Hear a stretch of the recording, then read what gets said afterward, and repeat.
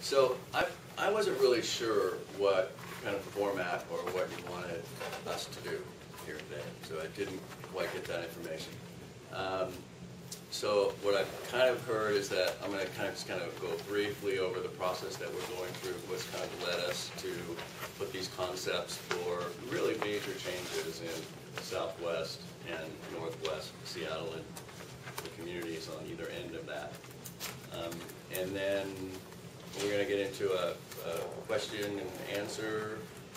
Yeah, Yeah, Doug might give some highlights of that's some of the changes. Yeah. Yeah, there, there are a lot of changes. I, I can quickly go through some of the major changes and um, then we can have questions. If that's what the group And- wishes to do, we can do that. The key to all this is that this is the very beginning of this Absolutely. process. That's These are suggestions, and we would like to see that. So if we could have a few minutes to tell you about them, then we can welcome your input. Do you have a printout yet of these proposed changes?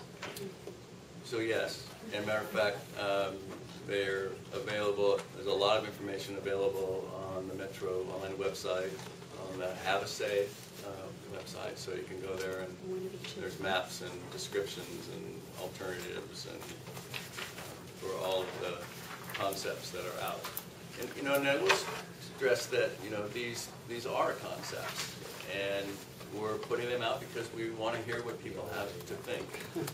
Um, We, you know, and we're really kind of looking at the system as a whole. And, you know, the idea, what we heard a lot about is that we should be more efficient and we should be more effective. And we're putting out concepts that we believe can move us in that direction. But there's more than, you know, one way to plan a bus system. You know, it's like we're kind of taking the opportunity of the implementation of the C and D line as the trigger for a lot of these um, changes. So we want to make sure that we are, um, you know, going to implement this, this more frequent, I think particularly um, in the midday and in the evenings uh, in West Seattle and up in Ballard. You know, it's kind of this backbone, this, you know, running, you know, really kind of the monorail, old monorail alignment concept, Ballard West Seattle. Um, And we want to make sure that we can, we restructure service so we don't duplicate, um, that we open up more uh, opportunities to use the bus to more destinations, uh, that we try to make service uh, more direct. I mean, we're sitting here at South um, Seattle Community College where, you know, I think the 128 now does this huge deviation to get back here uh, and then head back on its route as it heads to Southcenter. So, I mean, things like that that we, you know, kind of, we've They do. been, been doing for a long time that maybe we could do things better. So we're asking for your input on these concepts. You know, this really kind of, you know, started, you know, in 2008, we we were going gangbusters and and carrying a lot of folk. And unfortunately, for, um, like there are many, many of us and uh, governments, we were impacted by the Great Recession. So people started spending less, our primary source of funding being sales tax, our revenues uh, plummeted. And, you know, kind of at the, the same time, we didn't have dollars, um, you know, a lot of people needed the service even more. Um, although ridership has dropped primarily because people are not, not as many people have jobs.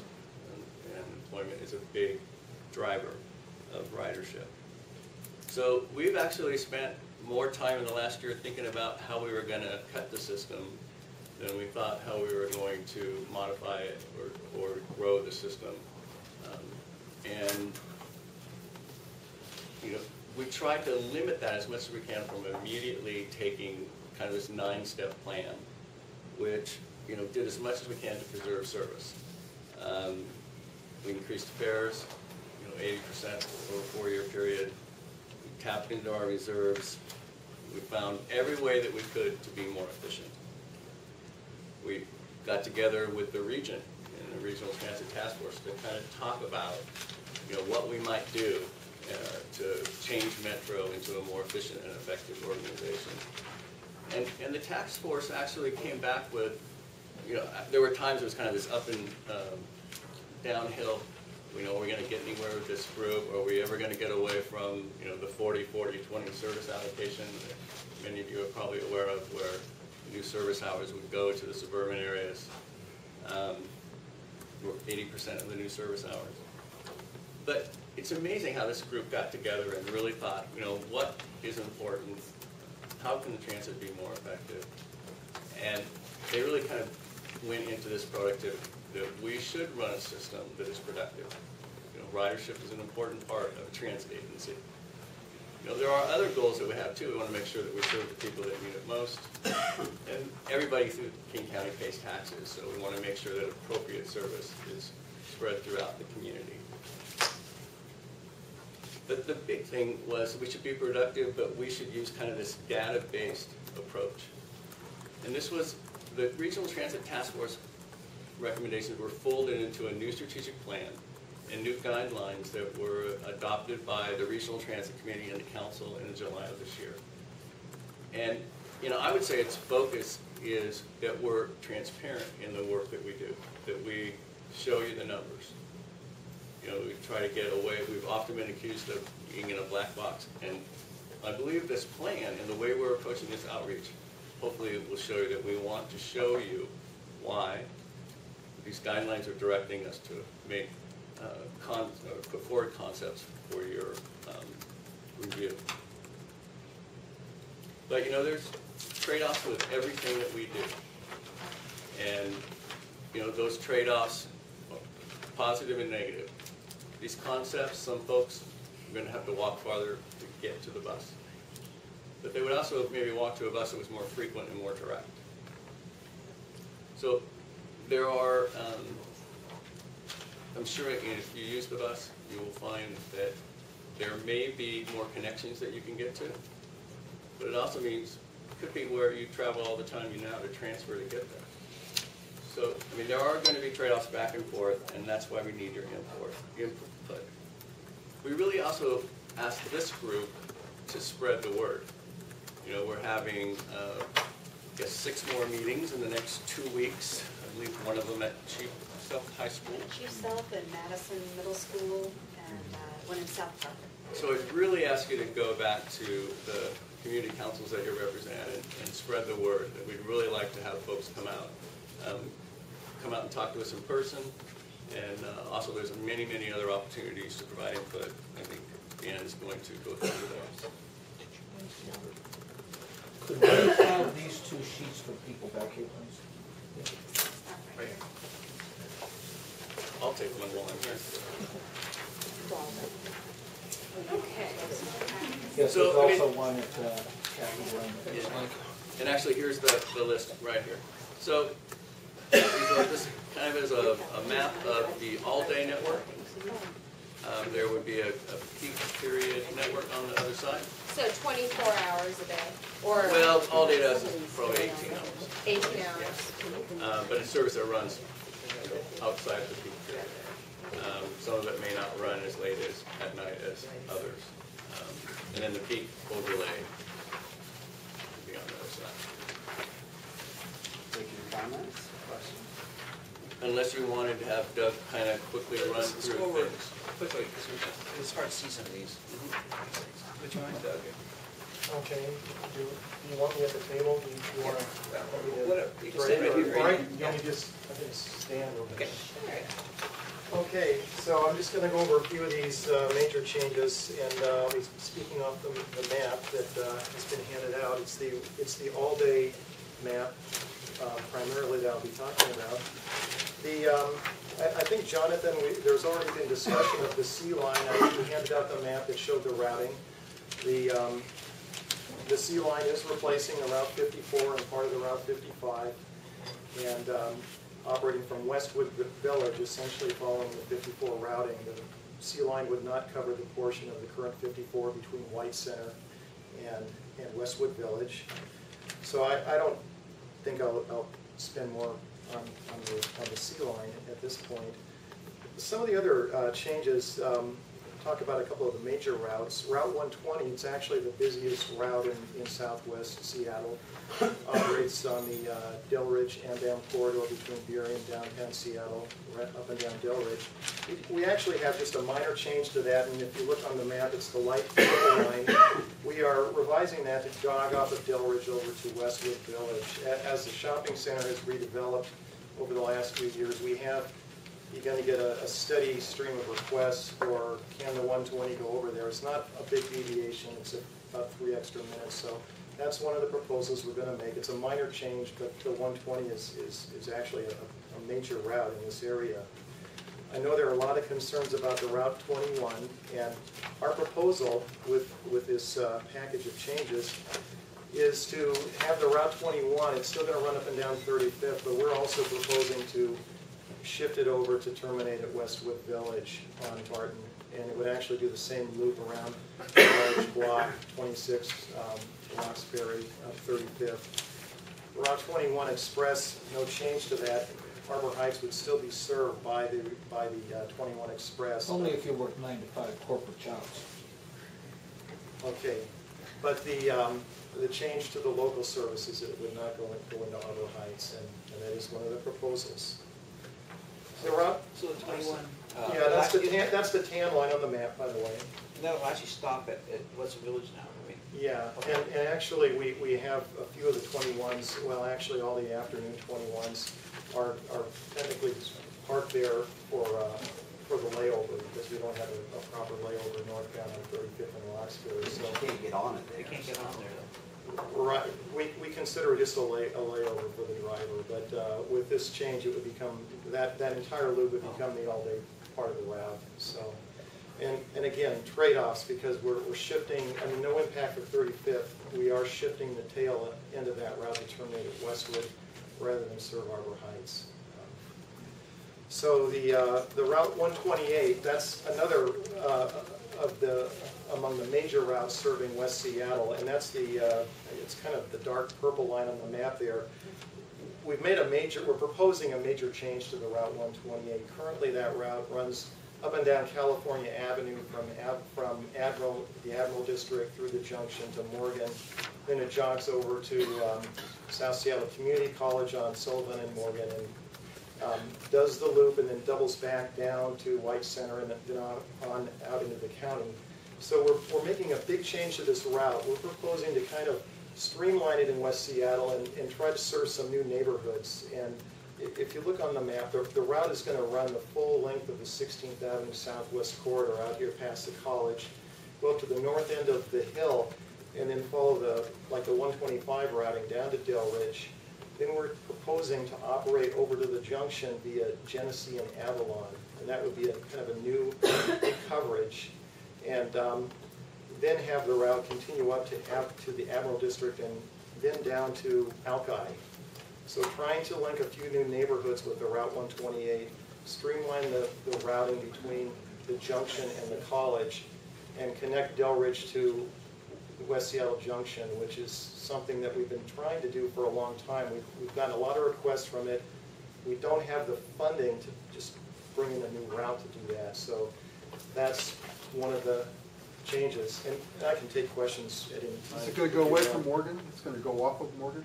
Well, if you look on the, on the map, it's, it's, it's that, it's hard to see on the map, but it's, it's, it's not gonna operate on Morgan and Sullivan between California and Sixteenth Avenue Southwest. It is going to stay on, it- from White, from White Center, it's gonna go the full length of the Sixteenth Avenue Southwest corridor, and then come down off the top of the hill up here to Delridge, and then that short block between the the Del, on Delridge to Genesee. And then that's, that's, that's new coverage on Genesee. And you're gonna put something else down Morgan, is that what you're saying? Yes, yes, there's, a and, yeah, it's Route 40, and I'll, and I'll get to that after Sergey can Well, I, I guess at this point it might be better to hear all of the routes because I'm very, I, I appreciate the attempt to get new neighborhoods with 128, but you're sacrificing neighborhoods. Uh, here, it's not, like for example, I won't be able to use any bus service to get to South Seattle Community College. From the way the map looks, I would need to go down the C line and then wait for a second bus to transfer up for something that's less than two miles. Where, where are you getting, Um, the 128? That, uh, the one twenty-eight that comes down Sylvan Way, uh, right there by Home Depot. Okay, okay, so- Serves a number of South Seattle students that catch the one twenty-eight and then ride it up the Myrtle and then come back down. Okay, okay. Right, okay.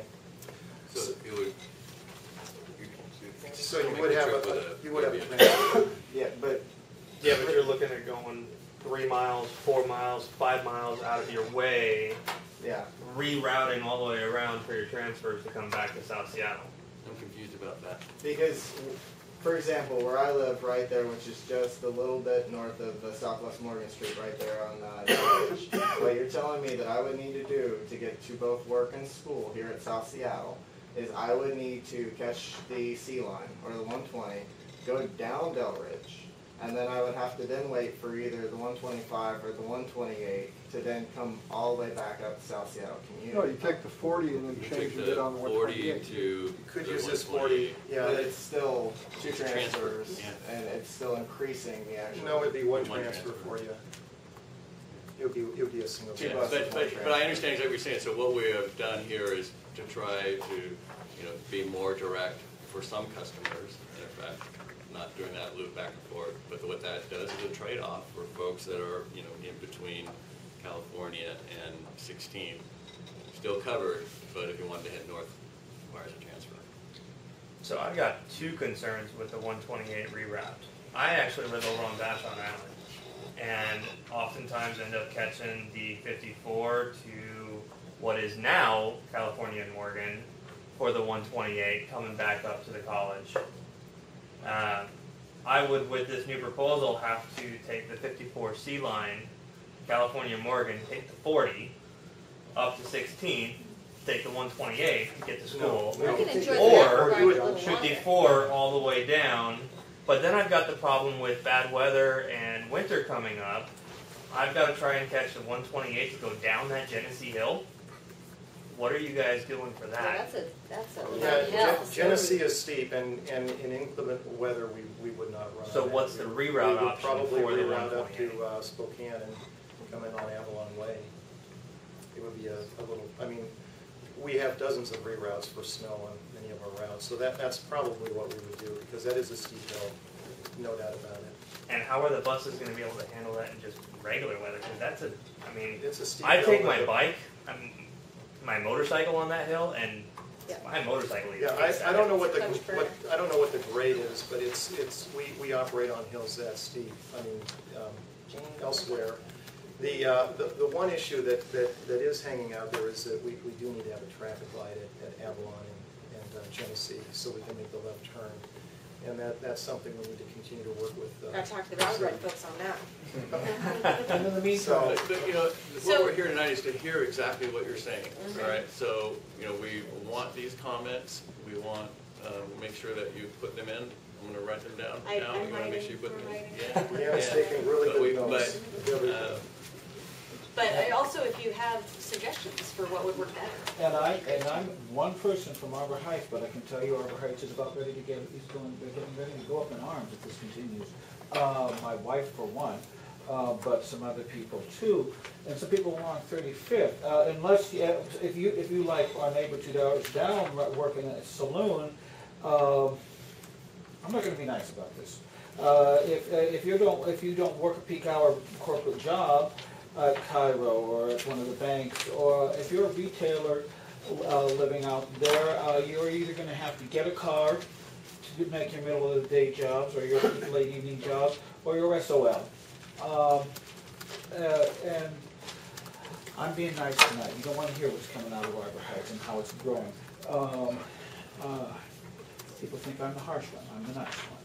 Um, you're just shoving people out, you're cutting off that, it looks like Normandy Park, uh, to be perfectly honest, is, in the same boat as, um, as, uh, in a worse boat actually than, uh, than Arbor Heights.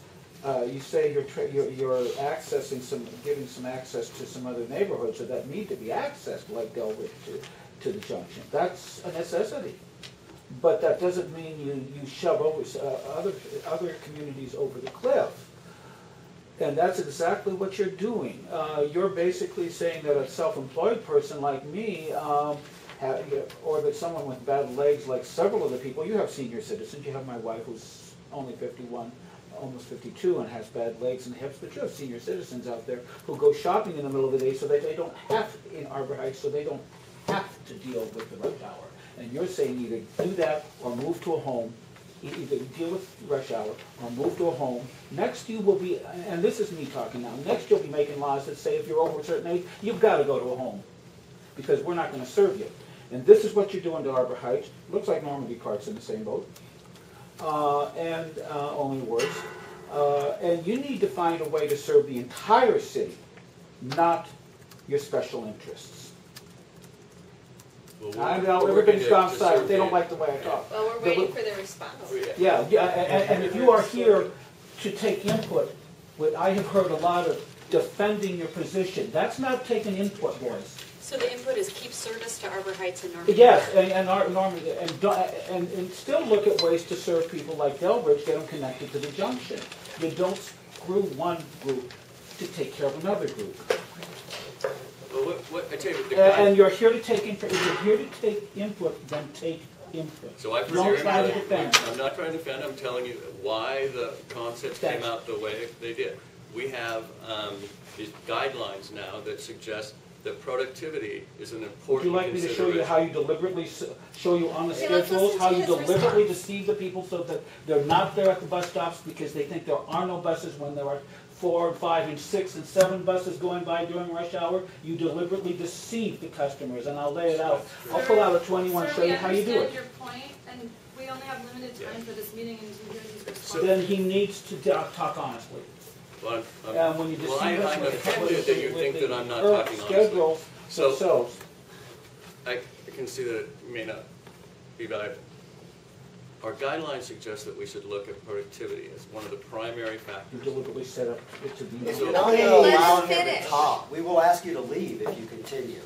So we brought a concept out that still serves that area in the peak because the ridership in the off-peak is low. Matter of fact, um, four percent of the ridership on the Route twenty-one is taken up by nineteen percent of the resources serving that area. So we're not, that's why that proposal came forward. It's, we're here today to hear that, and we've heard it already online and uh, meetings today, that people think that Arbor Heights should be served, and we should look at a way to do that. But the reason this proposal came out is that the policy that we have now pushes us in that direction about productivity. Then you need to sit down and look at your schedules that protect, that drive people away from the buses that are there because they, the schedule says they aren't. Oh, What do you mean by that service schedule? I'm not sure I understand. Well, I, Bus I really schedule don't around wanna take 21? up the meeting's time for that, uh, because it is an extended look, at sit here, and look at the schedule and see how it's, it's very deceptive. Uh, and, ha- and has been complained about over, I've talked with, uh, Tom Randall over, over a year and a half, and others have pushed it through, and it's ignored. It's not something that this meeting has time for, or this group has time for, but you need to look at it. Well, I think we've heard, McDonald's the heard, heard that the Arbor Heights, and, and I just think that we just need to be respectful to our guests and, um, Then they need to take input and not stop here trying to Okay. explain. You okay, need to thank stop you. interrupting people. Thank you, Dorsal. Um, well, I want to say thank you for the 120 um, in particular because that has been a huge issue in getting to Westwood. My only input on that would be to consider actually starting it in February with the service change revision instead of waiting, starting the process sooner for the Delridge reroute because it's been such a need for such a long time. Is that, is that an ordinance item? Uh, I don't believe it is. Or, the February changes are already, the ordinance is closed, Yeah, but June would be. June hasn't. June would be the. We've. That that is we've something. heard from others well, that you let wanted. David speak. I, Yeah. I think that's some, we've heard from other people making that same uh, suggestion. And next we have Katie. Um, yeah, we of the Admiral Neighborhood Association are wondering what happened to North Admiral in all of your um, calculations. Yes, There are a number of people, ourselves included, that use public transit frequently and wonder what's happened to fifty-five. right. The fifty, the fifty-five has, is part of the uh, uh, merger with the 54, 55 into the RapidRide. The, um, the fifty-five, the coverage provided by the fifty-five is, uh, replacement coverage is the one twenty-eight between the um, West Seattle Junction and Admiral. There is no replacement, there is no new route proposed with this uh, network north of, north of Admiral, like up to Atlantic Street. So The, the only route that we're showing there is the, uh, is the seven seven five, the water taxi. we have to shuttle. Yeah, and there are, the- there is a proposal to augment that water taxi service with, to, to provide a full-time level of service on that route, or something similar to that, because that, that's another aspect of the proposal. Right now, the water taxi shuttles are, are seasonal, and they just recently ramped, reduced their service level, and the water taxi reduced its service level. But one of the thoughts is that, that um, it might be possible to augment the water taxi shuttles so that they run year-round and provide year-round service, like the regular metro route. Okay, Chaz, what's next? So, overall, I'm affected, by the way, I lose the twenty-two. Um, But I'm much more curious about the routing of the fifty. Previously, our thoughts had been to route the fifty at least through the junction and over, and going straight down Admiral Way and across to light rail gives you only the Admiral and Alki audience. So I would strongly recommend that we route the new 50 down California to the junction, which would give Admiral at least more service between them and Alaska. And you would pick up the transfer uh, at the junction to get over to SODO and the three light rail stations. So Then that- that would lead to Admiral just, well, no, you take that pink line and you go, you follow the purple line down to the junction, and then you go over the bridge. And since it's not a direct route from Admiral to downtown, I don't see that we're losing anything. would there be anything left on Admiral? No. No, but I would not, I would not put my principal connection to Link Light Rail down I. Admiral Way. Yeah, al- although with, with that change, that, that would re- re- result in no service on Admiral. So you could run, California and then you could run a seven seventy-six. Yeah. Well, I guess what I was thinking on that, because I was thinking that too, Chaz, um, is there somewhere down, down in Luna Park where you could go from the C line onto the fifty? Is that a reasonable transfer there? The, Or you um, gotta, so if you're coming down Admiral Way and, and some way of getting off the fifty to the C line, right, so, so, so, you know, if you're in the, if you're anywhere other than Admiral or Alki to get down to the light rail. So, I'm, I'm gonna be brutal. I can't imagine that there are more people getting on the bus on Admiral Way than there are in Arbor Heights. So abandoning Admiral Way for a higher traffic generating hub like Alaska Junction would not be much of an abandonment. I Can would- I I ask a would really question the hate- I one would- twenty-eight before you leave it forever? We're not, The we're one just gonna finish twenty-eight does I not run on Sundays, and I'm wondering if it Oh, would You know, start the way running on it works Sundays best is if you hold your hand up and then get called. I did. But Go I on. wasn't finished. You Hold on. interrupted me. Oh dear, Thank that's you. too bad. It is too bad. I am one of the members of the community. Do you have any respect for that? I do, have my I hand do, up but you before. were, you interrupted me, okay? Well, that's really bad. Okay, so let's So finish the anyway, so my here, and question then, is, could you look at rerouting the fifty through the junction, because you have a lot of people that would take it over to, uh, at least get down to Rainier Valley. And as I said, the previous discussions that we had with Jack Lattiman suggested that the fifty would go from Alaska Junction to Delridge up Columbian Way. So you have basically done a, you know, I hate to say switch and bait, but, uh, this fifty is not the fifty that was presented previously. okay, so you'll look at it. Yeah, We we've will got look it, at we've that, got that Thank idea. you. Yeah, we're Okay, looking at all of it. Okay, so, yes, ma'am. I, thank you. I would like to know if the one twenty-eight, if this all goes through, will run on Sundays, so there'll be a bus for us. Yes. Yes, yes. Thanks, that's all I wanted to know. okay, the gentleman from Admiral? Yeah, I, I, I, I, if you take the Route fifty off of this from, from Admiral, then we're left with nothing but the water taxi service. And you got the fifty-six only going peak service, we're gonna have nothing. That doesn't make any sense.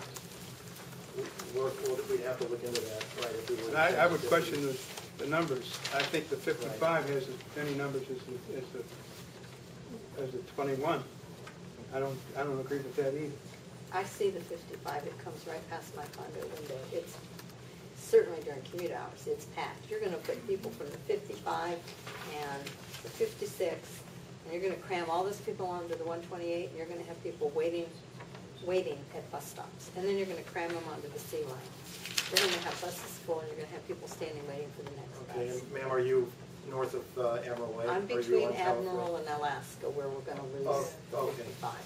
And how And about? we're losing that other little fifty-seven, what is the one that goes down thirty-five? It, it comes, there's a fifty-seven that comes partly down California and then it turns off. I know, it goes somewhere through into Belvedere. some neighborhood, I don't know where it goes. Yeah. But, but we have, in our building, we have a blind woman who already takes a bus from Lighthouse for the Blind to downtown to transfer to the fifty-five, and we have that sound light signal, the Tweety thing, so she knows which way to cross and where the cars are coming. And now she's gonna have to transfer at the junction, at the, all at the Cross Always Junction, to get another bus to get home. I mean, there are people in wheelchairs, there are, there's a blind woman in the building next door to us, she's blind and deaf. And we're, we're, what's she gonna walk to Alaska, she's gonna walk to the junction, it's, it's insane. You've So got you would people who can't walk, you've got people You who would can't walk. advocate keeping service on the fifty-five, that's the Yeah, route. And, you know, and, and I would say that it should run north like it does now, so it doesn't cut off those people north of Admiral, they shouldn't be cut off either. So, so. The, the to- people, the to- people north of Admiral now have a one-seat ride twice to downtown. With this proposal during the day, transfers. and, and sometimes during the peak, you're gonna have to transfer at least once, sometimes twice to get downtown. Yeah, there's no direct route from up here to downtown. This is not the way to get people on the bus. I'll be So- in my car. So in the, in the peak period, Doug, there would be direct service. The, um, the No, fifty-six, not. No, the wouldn't. No, there's not. fifty-six Express would continue to, to operate as, as is. The fifty-seven, someone mentioned the fifty-seven, that, that would continue to operate. That, that doesn't come, But none of those go north of the Admiral. I'm looking at the peak only, and I don't see It's a not, bus that's directed downtown from up there. So, right, along, along that section of California Avenue between Admiral and West Seattle Junction, you, you take one of, you take, say, the one twenty-eight And transfer. and transfer, yeah. And you, and As from north opposed of, to walking from north of the Admiral, street you and have going to downtown. transfer to the one twenty-eight. Yeah, Pardon- Pardon me? From, from north of Admiral, you have to transfer to the one twenty-eight. If you take this water taxi shuttle, or you walk up there. or you take the pink one and you transfer there, and then you transfer again at the junction, and then, Yeah. Now, now with the one twenty-eight, I, I think I forgot to add that the proposal is also, because it is a busy route and, and it covers some major, um, neighborhoods, we were planning to improve the weekday uh, frequency to every fifteen minutes in the peak, and possibly, uh, a sec, a segment of the midday as well to run every fifteen minutes, so that, that's a doubling of the service how, level. how late at night will it run? I, I think it's still gonna roughly run about the same time, which I, I think is about ten to eleven at night. It stops at ten o'clock, and fifty-five runs till midnight. Yeah, the fifty-five runs. Okay, well, that's, that's Coming something else. back we- from that- downtown That's from- another detail we'd have to look at is Coming trying from a to game. create a span that's similar to the fifty-five on that section. You won't be able to get home from the symphony, you won't be able to get home from events Theater. downtown at all. Excuse me, Games, anything. the, the woman in the back who was talking about the blind woman who rides the fifty-five, is there, isn't there a whole home of, of blind individuals that lives along the? I don't know, we have one in our buil, in our condo, there's a blind deaf woman in the apartment next door to us. I don't know if there's, a, a, I don't know the building of all blind people. But you've got the senior home right up there by the McDonald's, Right, the you know, and you've got the high school. You got high school kids who are gonna Yeah. stand there by the That's right. PCC, who ride the fifty-five, north and south from the high school. It's right, you're cutting off all those high school They'll kids. be all going on the one twenty-eight, you You're all won't be gonna able to be, get on there. nobody's gonna be able to get on the able one to twenty-eight, no matter how frequently it runs. You're putting crowds and crowds of routes onto the one twenty-eight. Plus all the people who wanna get over to the South Seattle Community College. Are you cutting the number of seats? Are the number of seats being cut? the number of seats on new equipment will be slightly less because they're a low floor. No, I mean, total seat Oh. capacity for West Seattle. You got X number of seats per day. I don't know how you want to manufacture this. Are you cutting them? Um, I do not believe so, but I don't know the answer to that question. Um, I would have to go back and look, you know, and another thing is that, you know, seats are not the only capacity that we have. Um, So, you know, we're an urban system, we expect to have some standees. I don't need seats But, to sit yeah, on. I We mean- can measure seats. I don't have that information. We had another question right here. I I have a couple of questions, but I'm gonna try and narrow it down here. Um, I have, I wanna start off with kind of a geeky question. So I'm colorblind, and some of these colors are really hard for me to track on this. I'm not even colorblind, they're still hard. So I'm wondering if there is a way to, on the website, have something interactive that you can click to have it show specific routes that you want to see. So you can, on the website, there's that map, but then for every route, there's a description, a route narrative that says, here's what it does today, here's what it will do under this change, here's Okay. why we're proposing the change in a map that's not color, that will show you the change to the route. if there is. Okay. So you can look it up by route. Okay, excellent. Um, then the next, sorry, just No, go ahead. Um, how does King County Metro calculate what peak time is? You mean for the fair or? No, for When we peak say travel. peak How do you service. guys? How do you figure out Yeah. what peak Well, service is? I mean, generally, the, the peak period is six to nine in the morning and three to six in the afternoon. But that time period has grown and continues to spread. Um, I mean, one of the discussions I was in yesterday is, is the peak period, has the peak period grown? And should we add that half hour in the morning to nine thirty and add that half hour at night to six thirty? And this was a discussion about fares, it wouldn't make people real happy. But, um, yeah, so that's what we say. I totally agree with someone here is that that's kind of the traditional go-to-work time. But there are a lot of people that go to work outside that, um, and you have, but that's when the biggest travel is, that's when the freeway's more crowded, the roadways are most crowded, So that question kind of leads into the next one. Do you use that model for everything, or do you look specifically at areas and routes and how peak service is affected, especially around schools, like colleges? Our peak time is from 7 a.m. until about 1 p.m. is our peak time. So by some of what I'm seeing here, you're affecting 6,000 students. So, and, and we realize that, same thing at the U, you know, where, you know, we see the two seventy-one from the east side, and, you know, park and rides on the east side filling up later. Kind of the same with Microsoft, have a tendency to go to work a little bit later, you know, come home later. So we do look at that kind of thing. Um, I don't know, Doug maybe we can say what we looked at about the arrival time. I mean, the other thing that would be great to have is, you know, a map of where your students are. You know, we just got going, got- through a process on the east side where we work closely with Bellevue College. And, you know, kind of tell us what their drop area is and kind of give us a, a hand in designing service for them. I would love to get any kind of data that you used um, to help generate that because uh, as a student body representative, um, we are actually in the process of creating a student forum in regards to transportation and how South Seattle is han- handling things, um, how the new King County proposals could be, you know, potentially affecting our student demographics.